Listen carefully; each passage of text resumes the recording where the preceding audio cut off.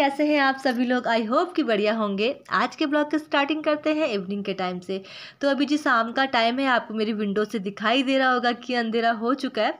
तो एक्चुअल में अभी बज रहा है शाम के साढ़े सात और आज हम अभी जस्ट आ रखे हैं आउटिंग से। तो संडे का दिन था, हम सोचा क्यों ना थोड़ा बहुत घूम लेते हैं। और होता ना कि वीकली में कभी तो थोड़ा बहुत रेस्ट करना चाहिए, थोड़ा बहुत माइंड फ्रेश करने के लिए बाहर जाना चाहिए। तो वही सोच के हम आज आउटिंग में गए थे। तो हम मॉर्निंग में या लगभग बारह बजे चले गए थे यहाँ से। देन उसके बाद हम लोग शाम को साढ़े सात बजे घर पहुँचे हुए।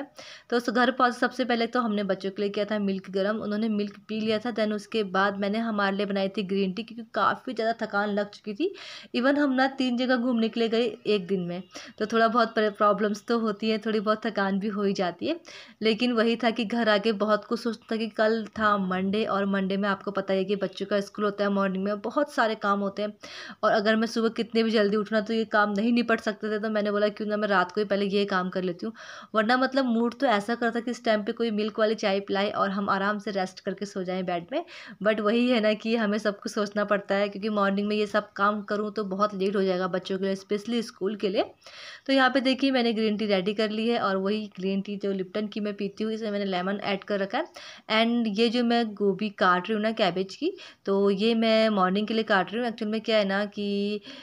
मेरे को ना गोभी में थोड़ा सा भी ब्लैक पेन नहीं चाहिए। थोड़ा सा अगर डार्क ब्लैक कलर का डार्क स्पॉट भी हो जाता ना, मुझे उसकी सब्ज़ी बिल्कुल उसे काटना ही अच्छा पसंद नहीं लगता। तो मैं हमेशा पता जितना भी जो एक्स्ट्रा होता है ब्लैक वाला, वो सब निकाल के फेंक देती हूँ और गोभी को जो एकदम साफ़ गोभी होगी, उसी को कट कर लेती हूँ। तो ग्रीन टी यहाँ पर रेडी हो चुकी थी और सिरा जी वेट करते ग्रीन टी का। तो फिर वो तो बोलते कि मिल्क वाली चाय पीते हैं बट मैंने बोला कि यार आज हमने ना काफ़ी हैवी लंच बोलो वो भी चार बजे करा। तो इस वजह से मैंने बोला कि नहीं, अभी नॉर्मल ग्रीन टी पी लेते ताकि थोड़ा सा बॉडी ठीक रहे। क्योंकि है ना कि अब जैसे जैसे उम्र बढ़ते जा रही है तो हमारा जो फैट है बॉडी का, वो भी बढ़ते जा रहा है। तो यहाँ पे देखिए, हम लोग ग्रीन टी पिए थे आदि अपना ट्यूशन का वर्क कर रहा था, क्योंकि उसने ना मॉर्निंग में जब ट्यूशन से आया था उसके तुरंत बाद हम यहाँ से निकल चुके थे बाहर पे। तो अभी अथर्व ने मॉर्निंग में ही कर लिया था अपना स्कूल का जो वर्क था, और आदि ने स्कूल का तो कर लिया था बट ट्यूशन का उसको करना था। तो यहाँ पे देखिए, हम लोग बैठ के चाय के मज़े ले रहे साथ में कुछ बहुत बातें भी कर रहे हैं। स्पेशली क्या होता है ना कि संडे के दिन हमें थोड़ा सा टाइम मिलता है कि हम एक दूसरे के लिए टाइम स्पेंड करें, एक दूसरे से बातें करें। फिर शिवराज जी भी चले गए थे अपने ड्रेस रेडी करने के लिए अपने रूम पे और मैं तैयारी करने लगी हूँ सुबह की। तो नॉर्मली घर तो आज बहुत क्लीन था क्योंकि हम ना जैसे घर से निकले उसके बाद से तो हम अभी घर पहुँचे तो रूम काफ़ी ज़्यादा साफ़ सुथरे लग रहे थे। बट ये था कि हाँ मुझे मॉर्निंग का टेंशन था मॉर्निंग में मैं क्या करूँगी और किसकी सब्ज़ी बनाऊँगी तो ये सब था दिमाग में तो मैंने बोला कि अभी मैं रुकती नहीं हूँ। अगर मैंने एक बार आलस कर लेना तो फिर बॉडी में आलस आ ही जाता है। एंड दूसरी बात ये भी है कि नाइट को अगर हम ये सारे काम करके रख दें तो हमारी मॉर्निंग में काम मतलब इतनी हपड़ तपड़ नहीं मचती है हमारा काम। बहुत आसानी से और बहुत जल्दी हो जाता है। तो सबसे पहला काम था मेरे को सब्ज़ी कट करनी थी। एंड अंदर आटा भी बिल्कुल नहीं था, उसको भी मैं गूद लूँगी। तो सबसे पहले देखिए, मैं सब्ज़ी को कट करूँ। और कैबेज की सब्ज़ी जब भी आप कट करें ना, उसको आप हमेशा ग्लास से कट करें, जो बहुत अच्छी बारीक कटती है और बहुत जल्दी पक जाती है। तो क्या होता है ना कि जब हम चाकू से कट करते तो लंबे लंबे पीसेस बनते हैं और उतने बारीक नहीं हो पाते हैं बट अगर आप गिलास से कट करेंगे ना तो बहुत अच्छे से कट हो जाएगा। सबसे पहले ना मैंने थाली में से कट किया था बट थाली में ना गोभी ज़्यादा हो गई थी तो इस वजह से ना फिर मुझे अपनी बड़ी वाली कढ़ाई लेके आनी पड़ी, मैंने उसमें अच्छे से कट कर लिया था। और जो मेरा ये कंटेनर है वो बहुत यूज़फुल है, मैं आपको हर बार ही कहती हूँ। तो मैंने इसमें ना जितने भी मेरी जो गोभी है वो मैंने रख लिया है। जितना मेरा यूज़ होगा आधा मैं आज यूज़ करूँगी और जितना बच जाएगा उसको मैं नेक्स्ट डे यूज़ कर लूँगी। क्योंकि क्या होता है ना कि अगर कट करके इस तरह की सब्ज़ी रख लो, सब्ज़ी ख़राब नहीं होती बट ये भी नहीं कि आप वीकली इसको ऐसे रखे रखो, नहीं, बस एक या दो दिन तक ही आप इसको ऐसे रखो, वरना बासी सब्ज़ी उतनी भी अच्छी नहीं है हमारे शरीर के लिए। एंड यहाँ पे कुछ बहुत जो था कैबेज के पीसेस गिरे हुए थे, मैं उसको उठा लूँगी। अगर मैं उसको ना उठा लूँ तो अथर्व यहाँ से वहाँ चक्कर मारने में लगा रहता है और उस वजह से ना क्या होता है कि उसके पाँव में लगता है, वो सारे कमरों में फैलता रहता है। तो नाइट के जो काम है, ये तो शायद हर लेडीज़ करती होगी, हर कोई मतलब मुझे देख के सोच भी रहा होगी ये ये क्या काम बता रही है। बट ये, मैं ये शेयर कर रही हूँ कि मैंने क्या किया था, आज दिन भर घूम के आई और उसके बाद रात के टाइम पर मैंने कितना काम किया।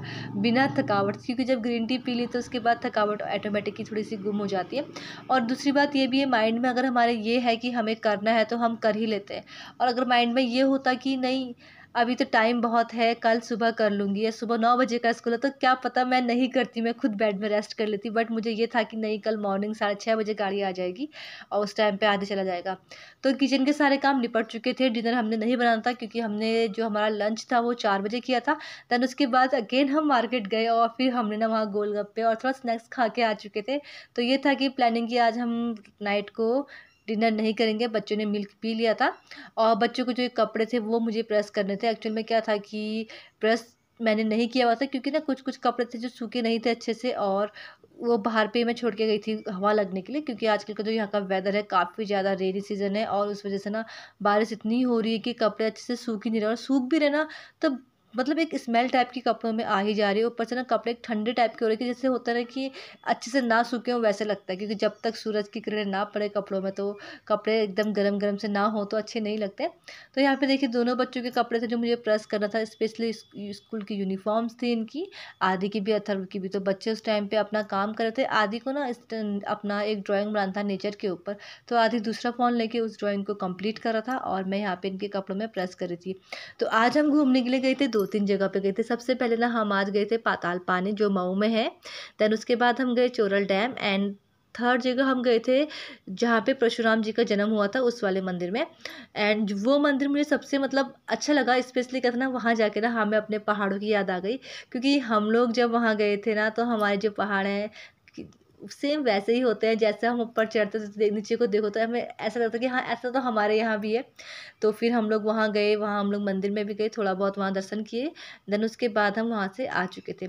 बट सोचा है कि नेक्स्ट टाइम एक बार पक्का वहाँ और जाएँगे, क्योंकि ना मतलब पिकनिक स्पॉट के लिए भी वो बहुत अच्छी जगह है और बस सबसे बड़ी प्रॉब्लम ये थी कि ट्रैफ़िक बहुत ज़्यादा था, स्पेशली आज वीकेंड होता है, संडे होता है तो इस दिन तो ट्रैफ़िक हर जगह पे होता है और और स्पेशली क्या होता है कि जो मतलब हम तो पहाड़ से बिलोंग करते हैं, बट जो लोग बाहर रहते हैं ना, उनको पहाड़ देखना काफ़ी ज़्यादा पसंद होता है, पहाड़ का व्यू देखना बहुत पसंद होता है तो इस वजह से क्या होता है कि वो लोग बहुत ज़्यादा पसंद करते हैं पहाड़ में जाना तो हमारे लिए नॉर्मल सी बात थी, बट फिर भी ये था कि हाँ इतने महीनों बाद अगर हम पहाड़ देखें तो ऑटोमेटिकली दिल को खुशी मिलती है तो कपड़े देखिए बातों बातों में सारे प्रेस हो चुके थे, अब मैं इन कपड़ों को हैंग कर लूँगी तो मैं क्या करती हूँ ना, जब मैं मंडे को यूनिफॉर्म रेडी करती हूँ तो दोनों की यूनिफॉर्म अलग अलग तरीके से अलग अलग हैंगर में अच्छे से रख लेती हूँ ताकि क्या होता है कि सुबह मॉर्निंग में दोनों को कोई प्रॉब्लम ना हो।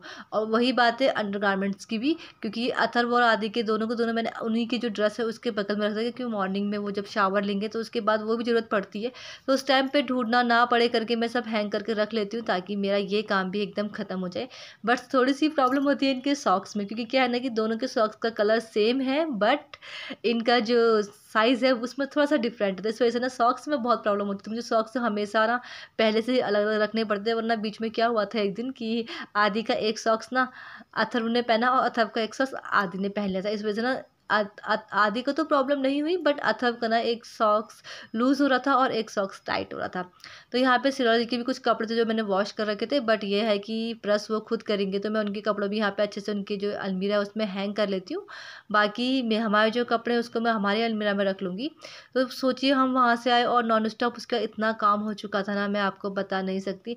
और इन्हीं कामों के बीच में फिर कुछ कुछ काम याद आते जाते तो मैंने बोला फटाफट से मैं वो काम भी कर लेती हूँ और आपके साथ शेयर भी कर लेती हूँ। अभी क्या होता है ना कि हम लोग क्या करते हैं कि दाल बनाते हैं, कभी हम सिर्फ़ साबुत दालें बनाते हैं, कभी हम मिक्स दाल बनाते हैं। तो इसके लिए ना मैं क्या करती हूँ, जब भी मुझे मिक्स दाल बनानी होती है ना, मैं उससे पहले ही ना एक कंटेनर में मिक्स दाल को पूरी ऐड कर लेती हूँ और उसको उस कंटेनर में ही रखती हूँ, ताकि बार बार मुझे सारे कंटेनर खोल के दाल को मिक्स ना करना पड़े। कि इससे क्या होता है कि बाद में हमारा टाइम भी बच जाता है और बहुत आसानी से हमारा काम भी हो जाता है। तो यहाँ पे कहना कि मैं डब्बे ढूंढते रही क्योंकि इसके अंदर ना बहुत सारे कंटेनर रखे हुए हैं, कभी किसी चीज़ के, कभी किसी चीज़ के। और जो ये वाला कंटेनर था, यही कंटेनर मैंने इससे पहले भी अपनी मिक्स दाल को ऐड कर रखा था। तो यहाँ पर जितने मेरे यूज़ के हैं, उसको मैं रख लूँगी और जो यूज़ के नहीं है, मैं उसको दोबारा इसी कबर्ड में रख लूँगी। तो यहाँ पे आप देख सकते हैं कि अब मैं जाती हूँ और लेके आती हूँ एक थाली। तो हर हर दाल, जैसे कोई भी दाल हो, सबसे पहले मैंने ना जो लोबिया है, लोबिया की दाल के जो दाने हैं, कुछ वो रख लिए थे। फिर उसके बाद थोड़ा सा उसको साफ़ भी कर लिया ताकि उस टाइम पे ना मुझे कोई प्रॉब्लम ना हो।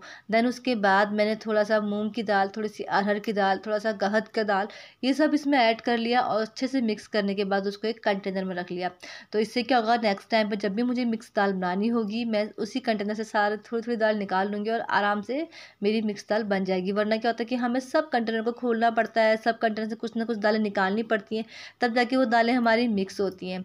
तो घर के ये कुछ काम ऐसे हैं ना, जिसको हम इस तरीके से करें तो काफ़ी शॉर्टकट से काम हो जाता है और टाइम भी हमारा बहुत सारा बच जाता है। क्योंकि कभी कभी क्या होता है, हमें बहुत जल्दी होती है स्पेशली कई बच्चों का आने का टाइम हो जाता है या हस्बैंड का आने का टाइम होता है हमारा काम नहीं होता है, उस टाइम पर अगर हम इन चीज़ों को करके रखें ना तो हमारे काम बहुत जल्दी और बहुत आसानी से हो जाते हैं। तो यहाँ पे देखिए, जितनी भी मैंने दाल को मिक्स किया था, उसको मैं उसी कंटेनर में रख लूँगी ताकि मेरी जो दाल है वो अच्छे से रहे। और ना दाल मैंने सारी साफ़ कर ली क्योंकि दाल एकदम साफ़ थी, कुछ बहुत मैं बस चेक करती कुछ है तो नहीं, बट कुछ भी नहीं था। नॉर्मली सब कुछ ठीक था। और यहाँ पे देखिए मैंने सारे कंटेनर को अच्छे से रख लिया है। और इसके बाद मुझे एक काम और करना था, मुझे सरल जी के लिए ना हरे मूँग भिगोने थे। क्योंकि आजकल जैसे कि मैंने आपको बताया ही है कि वो हमेशा मॉर्निंग के टाइम पर वो खाते हैं। तो उसके लिए सबसे पहले मैं इनको भिगो लूँगी और आज नाइट भर वो भीगेंगे और कल फिर मॉर्निंग में मैं उसको किसी कपड़े में अच्छे से बाँध के रख लूँगी ताकि वो अंकुरित हो जाए। और इससे क्या होता है ना कि हमारे इसमें बहुत ज़्यादा फाइबर होता है जो हमारी बॉडी के लिए बहुत ज़्यादा इंपॉर्टेंट होता है। तो ये सब काम करते हैं और मिलते हैं आपको अभी थोड़ी देर में। हाय तो कैसे हैं आप सभी लोग? आई होप कि बढ़िया होंगे। तो जी, अभी बज रहा है शाम के साढ़े नौ और लगभग मेरा सारा काम हो चुका है।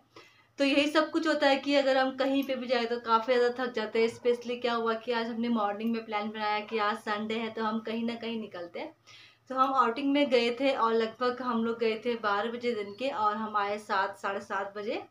शाम के। तो उसके बाद से नॉन स्टॉप काम काम रहा, कभी कुछ कभी कुछ जो मैंने आपके साथ शेयर किया। और यही था, अगर मैं वहाँ से आके थोड़ा रेस्ट कर लेती तो फिर एकदम मेरी बॉडी में बहुत ज़्यादा आलस आ जाता। और जब आलस आता तो कुछ भी करने का मन बिल्कुल नहीं करता। तो मैंने सोचा क्यों ना कि मैं फटाफट से जो काम है वो भी कर लेती हूँ और आपके साथ शेयर भी कर लेती हूँ कि रात को ये सारे काम कर लो तो मॉर्निंग के लिए बहुत आसान हो जाता है। स्पेशली क्या होता है कि मॉर्निंग को आजकल बच्चों के सबके स्कूल खुल चुके हैं तो स्कूल के टाइम पे बहुत ज़्यादा हपड़ तपड़ मच जाती है या हम लोग को जल्दीबाजी बहुत होती है तो हम लोग रात को ही ना ये सारे काम करके रख लें तो मॉर्निंग में बहुत आसानी हो जाती है बहुत आसान से हमारा सारा काम हो जाता है। तो अभी टाइम साढ़े नौ बज चुका है, बच्चे नहीं सोए और मॉर्निंग में उन्हें उठना भी है तो मुझे ना अभी इनको सुलाना और बट थोड़ा सा एक काम और बचा हुआ मेरा वो है आदि की एक ड्राइंग बनानी है तो मैं सोच रही हूँ उसको बनाती हूँ, बनाने के बाद आपको दिखाऊँगी कि कैसी लग रही है। तो उससे पहले मैं इनको सुलाती हूँ और उसके बाद आगे का काम करती हूँ। एंड आज का जो ये मेरा ब्लॉग था, वो इतना सा ही था। आई होप कि आपको पसंद आया होगा। अगर पसंद आया है तो please like share and comment ज़रूर कर दीजिएगा। मिलते हैं आपको नेक्स्ट डे नेक्स्ट वीडियो के साथ। Okay bye bye and take care